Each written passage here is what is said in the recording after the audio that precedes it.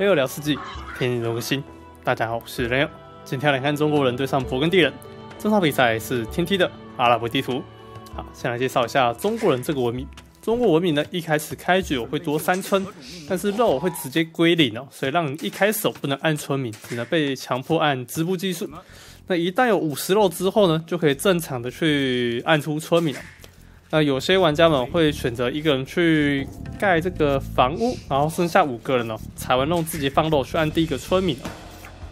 那这个玩法呢，虽然会相较于哦，一开始大家都收村了，收到里面，然后去采第一只羊肉，流程来说会更快一点。我也比较推荐哦，大家去这样子选，就是五只村民呢开局采肉，然后一村呢去盖房子哦，这种玩法会更适合手速慢的玩家们哦。那中国人呢？他是属于一个偏工兵的国家，因为他的保兵是这个中国连弩，而且有拇指环，射速非常的快。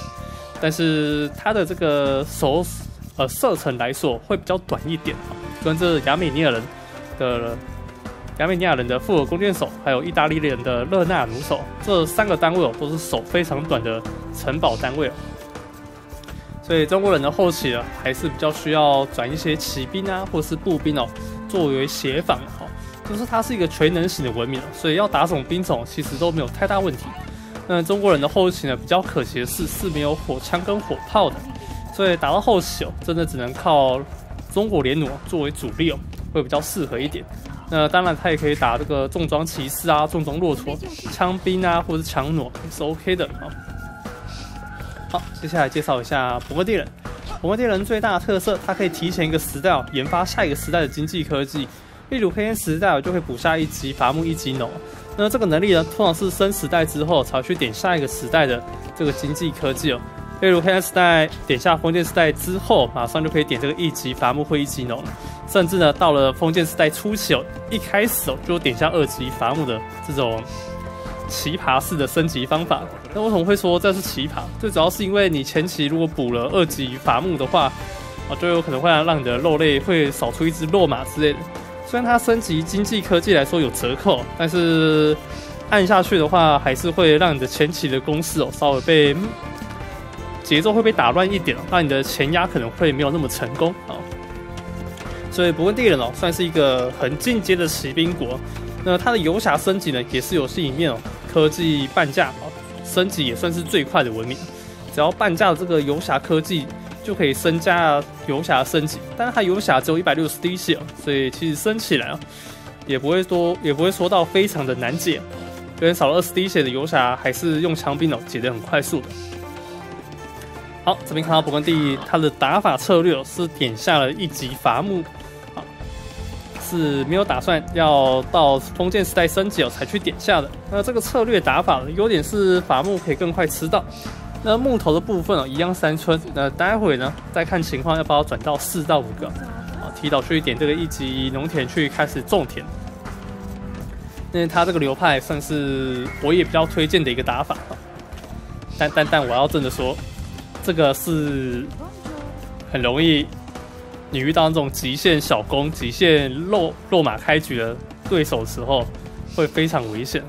所以这一招你要用在对方是一个很正常的文明，没有太多经济加成的文明的，像中国这个文明就是哈，或保加利亚之类的，好或意大利哈，这种没有经济加成文明，你在这个时间点去补这个一级伐木，可能还 OK。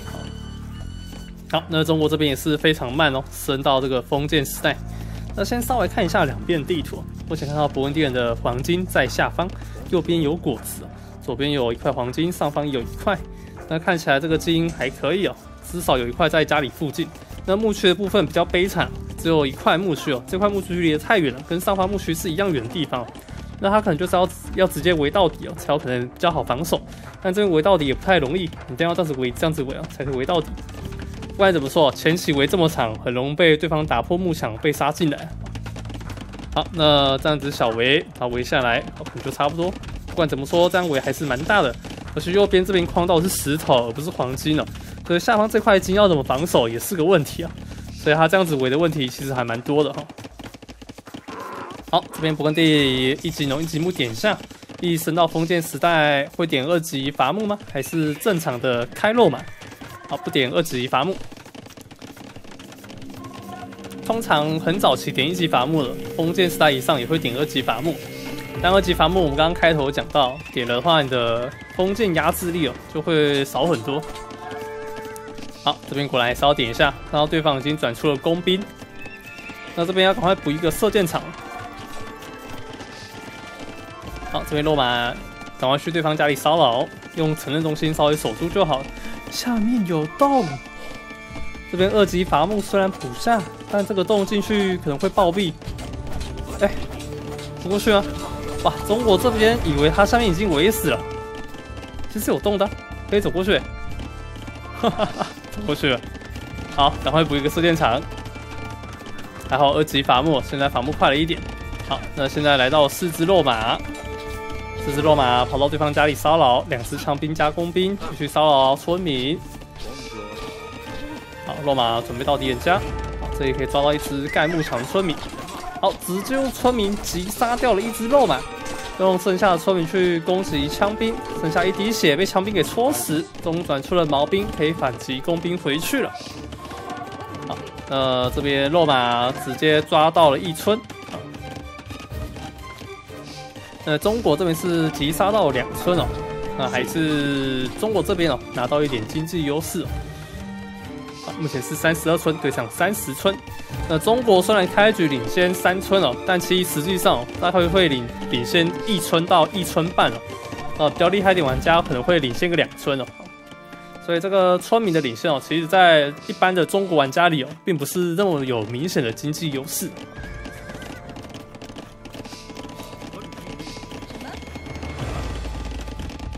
好，这边枪兵戳掉一只肉马，哇，第二只有点难戳。这样，好，我们第一这里补下轮轴技术。呃，有人会说二级农哪时候点哦？那肯定是点完城堡时代之后再点二级农。那这个时候你点二级农效益不不太够，而且会太花这个上城堡时代的时间哦。那可以在让你第一片农田哦要准备撒第二次的时候，在那之前再点下二级农就可以了。所以，如果你真的怕你会自动撒二级，就是撒第二轮的田的话，你也可以把这个自动耕田给关掉，这样它就不会自动撒第二轮的农田了。啊，村民就会在农田里发呆，然后等到你二级农好了之后，再可以回去复耕了，也没有问题的。啊，这个算是一个比较细节上的操作哦。好，这边三只落马继续在中国家里绕来绕去，但是中国已经点下了城堡时代的升级了。下方的工兵一大坨走了过来，击杀掉了一支枪兵。后方的毛兵想要反击回去，让自己的城镇中心击杀掉了一只肉马。波纹敌人这时候补下了一级的工兵铠甲，没有工兵铠甲是挡不住小弓的伤害的。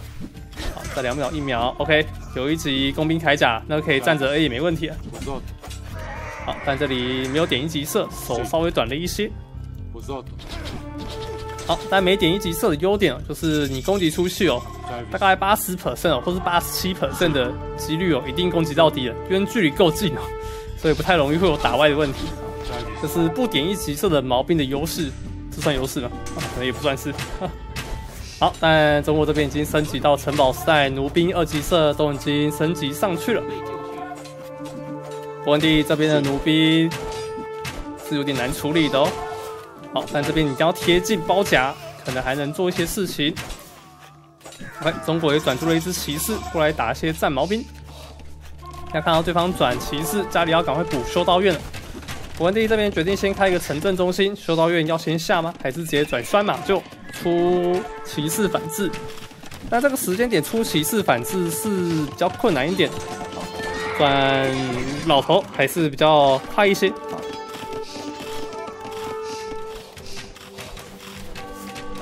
但现在他的主金被控制住，有点麻烦，这样断金很难受。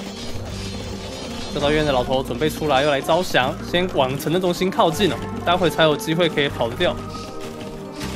好，这边决定还是要直接冲出去，不管了，毕竟老头在里面会把这边骑士给招掉，吃一点城镇中心的伤害可以接受。好，这边弩兵也减掉。那刚刚那波冲进去哦，中国其实也没有打到太多的村民哦，大概收个两村而已。好，这时候中国补下了二级马凯，准备走一个骑士路线哦。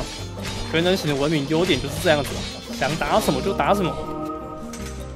好，这边转出了两只老头，稍微把骑士给逼了出去。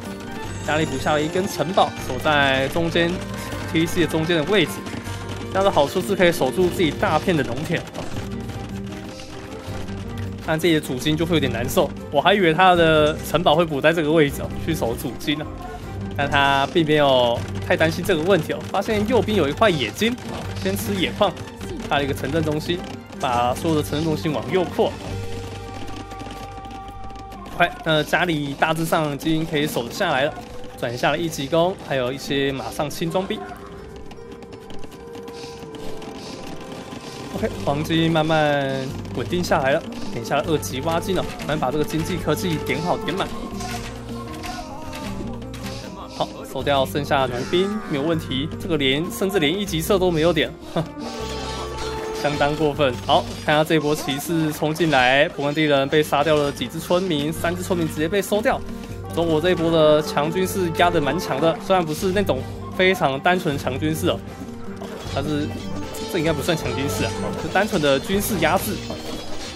OK，那这边点下了二勾，马上轻装兵数量还不够。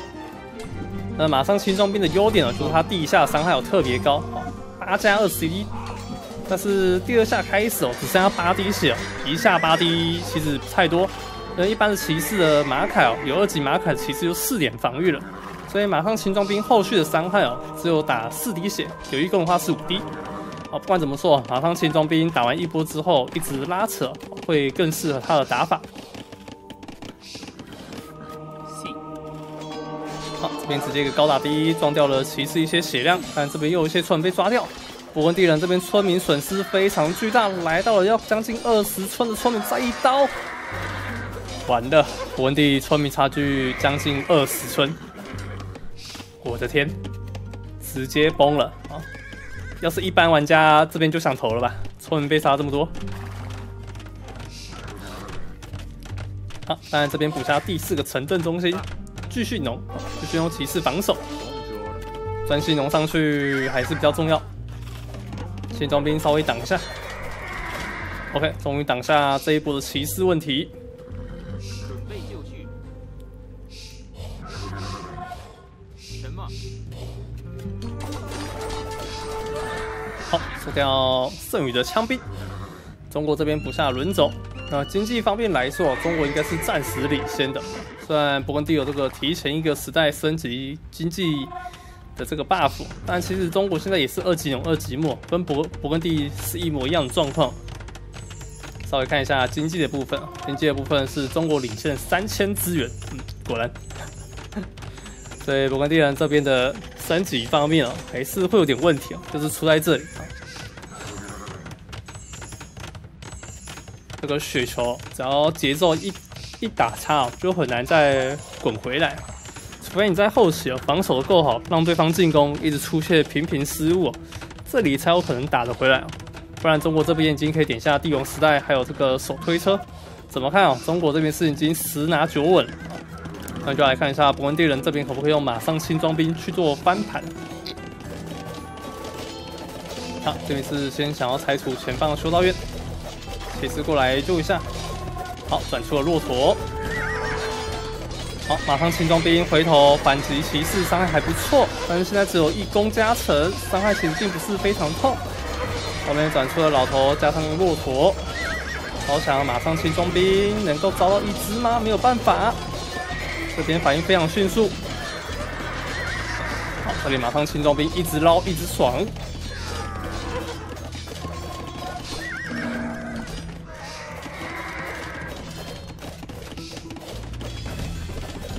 好舒服啊！这波反击回去。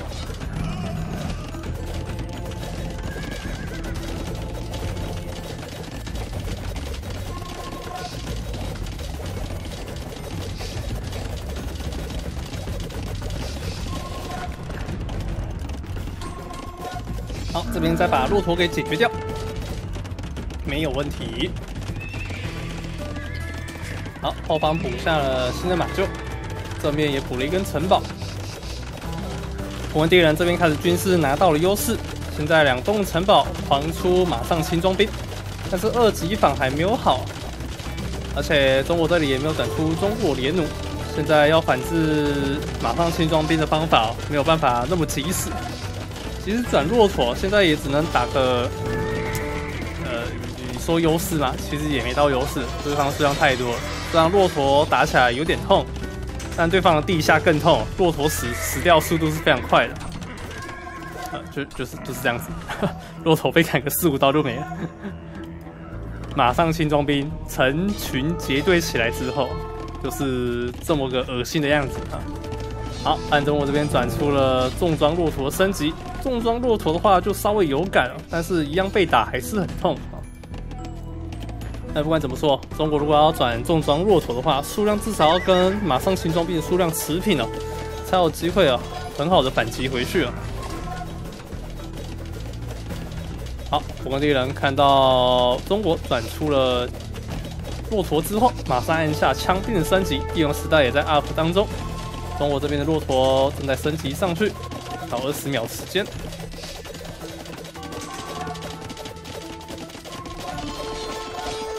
好，后面看一下这一波交换，重装骆驼升级好了，打马上轻装兵伤害开始明显起来，压制回去。OK，有重装骆驼就是不一样。OK，那不关帝这边知道自己的马上轻装兵哦，跟骆驼打久了还是会劣势哦。先聚集一下，中国终于阻止了对手继续进攻自家的外墙部分。好，那中国这边黄金配到三十五个人挖金非常多，经济配置来说是很 OK 的，这样出骆驼是可以的。后面二十三个人挖木头，还可以转出中路连弩。底下大学啊，还有这个化学、弹道学，这些都是也需要木头的，所以木头也不能配太少。到里出来村民了，可以继续补木头，木头补到大概三十左右，剩下继续补黄金跟肉就可以了。肉的话是为了要继续出骆驼或者转出枪兵哦，也是可以的。那不管怎么说，世纪帝国大部分的科技哦都是需要吃到肉的，即使你玩弓箭国，这个肉量还是需要注意一下，不然你有些弓箭科技哦是很难直接升级上去。那伯恩第这边的经济配置哦，就会显得少了一些黄金哦。这边可能是想要先点马上轻装兵的升级吗？好，先点下了骑兵。好，呃，马上轻装兵要升吗？还是要回转一波游侠？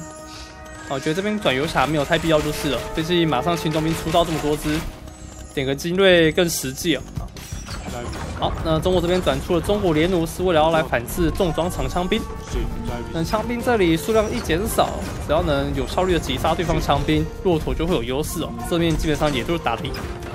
OK，我那人果然补下了马上轻装兵的精锐升级。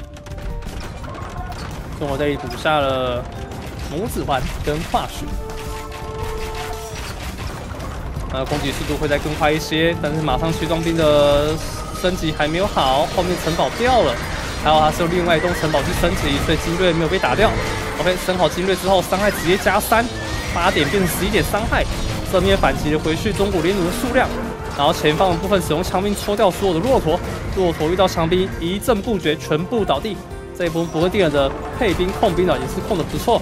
好，有把这个重点打到对方上，好，让这个马上轻装兵去专注对方后面的中古连弩。前方的骆驼全用强兵去处理了，那中国这边的处理就不太好，没有第一时间哦把这个骆驼拉到左边了去防守中国连弩哦的这个前线的位置。对这个细节控兵哦，真的是后期也是蛮重要的，不能直接一股脑 A 上去了。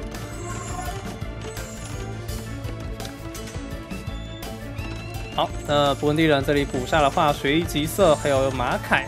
二级马凯跟增兵技术，呃，不过地人这边转出火枪的话，威力也蛮痛的。但火枪打步兵、打骑兵其实没那么优秀。好，这边是要转战矛兵，不然不是要转火枪。战矛兵先点上去，二级色待会要补，但这里没有先点三级马凯也蛮奇怪的。中国联中国连弩现在还没有升到最满，金冠技术点下。待会可以伤害再多加二点。好，先点下一个三级马凯。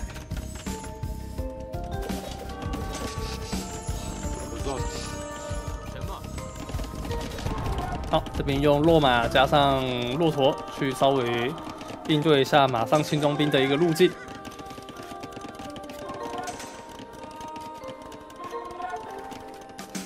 中国这边转落马就很奇怪，你不如跟着对方转枪兵更实际一点。但他可能觉得自己有骆驼，所以不用转枪兵，把这个骑兵升上去，他可能觉得没必要。因为中国的落马来说，并不是非常厉害的一个选择。那如果他出骑兵的话，更好一点。好，这边勃地人点下了银冠技术，不过勃艮第葡萄园，这样勃艮第人的农田呢，就会慢慢产生黄金哦。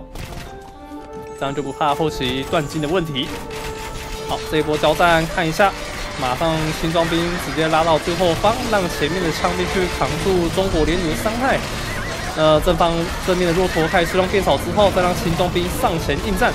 后面战矛兵开始往后点击后方的中国连弩，中国连弩开始被战矛兵射击了起来。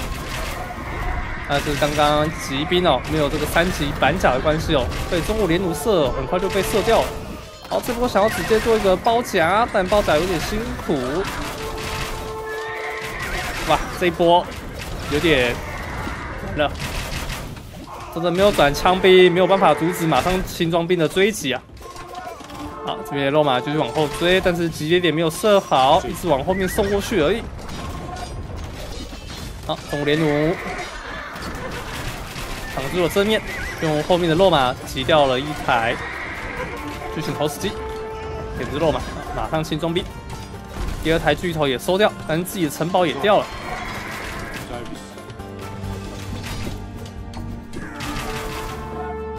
好，王地人这边转出了火枪，虽然对方没有转枪兵，但火枪先按下去了。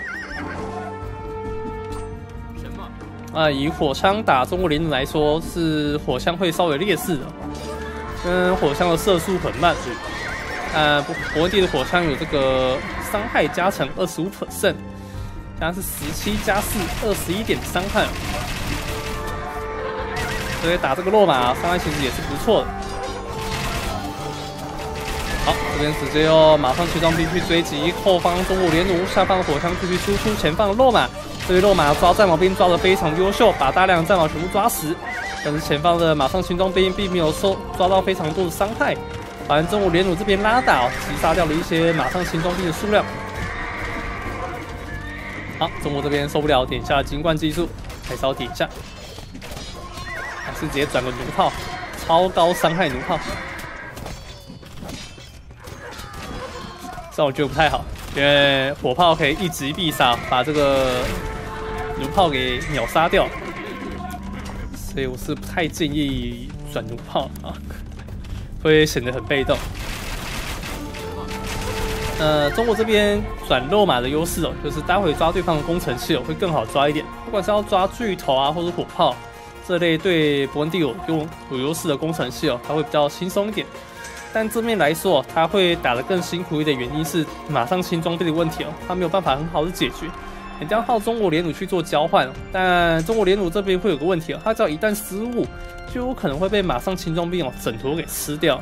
所以还是要转点枪兵哦，当做一个预备队在后面防守会更好一点。他的枪兵可能不用往前，但是他的枪兵哦一定要在后面哦，等对方冲过来的时候去做防守，就跟以前的古代战争很相近了。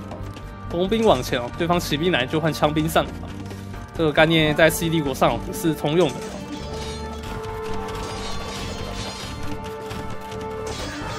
好这边用大罗马直接抓掉了一些火枪跟战矛兵的数量。这一波罗马冲进去骚扰不错，有三级马凯的文明哦，遇到城镇中心就不太就不太会害怕他的伤害了。远防六，然后对方是九，射一下只有三滴。这边罗马冲进去撞了一波，前方的大罗马撞到了骑兵，骑兵收掉非常多的罗马，这边少说收掉十五只的罗马。后方的落马继续骚扰当中，马上轻装兵回救一波。中国这边转出了大冲车的升级，那中国大冲车也是蛮麻烦的哈，枪兵配冲车，然后再配中国连弩，这个是我也我以前很喜欢用的一个工程方法，玩中国时候的。因为这个打法有点像是蒙古的感觉，大冲车配蒙古毒计，然后配一些枪兵，就是取代蒙古的骆马跟这个骆驼的感觉，既可以防对方骑兵哦，也可以打爆对方的黄金兵种。中国连弩又是万解啊，想打谁就打谁，就只是这个组合，就只怕对方投石车跟火炮单位啊。呃，所以这边文帝如果要挡下来，中国大冲车爆的话，这个打法。火炮是相当关键的好，我们来看一下这一波是否能够打出来一波伤害。好，这边大风车还没 up 上去，火炮往前。好，红泥松闪阵哦，所以被击杀掉的中国联弩数量并没有很多。好，一些大罗马去后面抓火炮，但没有抓掉中国联弩。正面的骑兵挡挡光之后，马上轻装兵就挡住，只能往后撤。好，补下了建筑学，把这个建筑物的血量开始提升上去。好，变五八零八滴。好，我们第一在前面继续补一些村，这个军营可能也是要想往前推进的。那现在火炮三是五十滴血，其实拆除城堡速度是非常快速的。但中国连弩呢，它也是可以直接去点掉火炮的。缺点就是手短，要非常接近才能点得到。好，那如果这么接近的话，登场的东西就是战矛兵配火枪，还有马上轻装兵的前压。啊，一被前压，中国联弩就会受不了。这里想要修城堡，但是没有石头，买了一些石头进来，要买吗？还卖一下，没有买石头，直接放弃，我不修了。好，这里补下了箭塔的升级。正面的火炮加火枪开始往上推进，先解决的是巨型投石机，拆掉了一台，后面马上轻装兵让他自由开火。好，但是骑兵一直补过来，马上轻装兵数量越来越少。哇，这一波火炮完全挡住，但是马上轻装兵的数量越来越少，但后面一直有在补。前线还有二十只，应该还行。好，还有火枪，还有火枪，少量火枪打枪兵效果非常的优秀。好，这边毛兵可以再继续点这个中国联弩。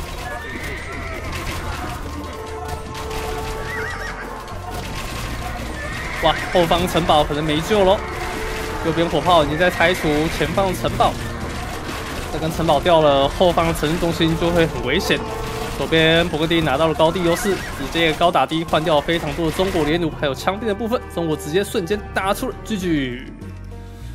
哇，勃艮第这一波打的蛮漂亮的啊！这个火炮前压配上这个火枪，还有这个战矛兵，基本上能出的都出了啊，全部的三攻三法都全部补下了，能点都点了。那勃艮第人后期的经济哦真的很好，这个六千四百六十四，还有会一直生产黄金的农田。只要你农田够多，黄金也会越来越多。那它的生物的部分哦，虽然是没有拿到非常多，哦，我是说中国的部分啊。勃艮第这边是五个圣物哈，不，勃艮第五圣物吓到我。那那为什么中国这边前面呢一直压制没有拿到圣物？这一点就蛮奇怪的啊。明明是前期一直在压制是自己。好，来看一下经济的部分啊，中国是拿到零圣物。勃艮第是五圣物，加上农田里产生的黄金呢，总共拿到一万七的黄金。资源量来说啊，两边是差不多的，并没有差距太大。毕竟中国的前面哦，村民领先将近二十村哦，领先了一段时间。但后面啊，到了大概四十六分钟时候，两边村民数基本上是来到一样。不然到这个地方啊，勃艮第版是有稍微反超一些，但是被打掉了一些村民哦，村民就有点下降一些。哦，后面就慢慢追回来了。那经济那 K D 的部分呢？是普艮第拿到了一点四三，中国这是零点七啊。K D 值的部分是真正赢了中国一倍的 K D。那中国这边要怎么打会比较好？其实老实说，枪兵早点出吧，然后后面可能要转点重装骑士之类的嘛。可能重装骑士也不太好，我觉得。我觉得落马是一定要出的，然后中国联弩可能要考虑转点混点战矛兵哦在里面，然后要一直疯狂往后逼低哦，去打后面家里。但，勃艮第这边防守确实做的不错，城堡都已经有补下，要逼低其实有一定的难度。我知道。那正前方可能要找个机会哦，转出投石车去砸掉这个战矛跟火枪。但对方火炮在的情况，所以中投要出来是很困难的。所以如果真的要解决掉的话，一定要出中投的情况，一定要先把后方的火炮全部铲除掉。中国这边唯一能解后方的火炮东西哦，就只有重装长重装骑士跟落马这两个单位哦。这也是中国后期哦比较一个尴尬的地方。虽然前期、中期都还不错，都有这个全能性的科技哦，但是到了后期哦，缺乏了火器单位哦。工程器方面就会有点显得被动，不然就是就不然就只能使用自己的巨型投石机哦去反制火炮单位了。好啦，那么今天影片就差不多到这喽。那如果喜欢这部影片，请记得帮我下订阅，我们就下次再见喽，各位拜拜。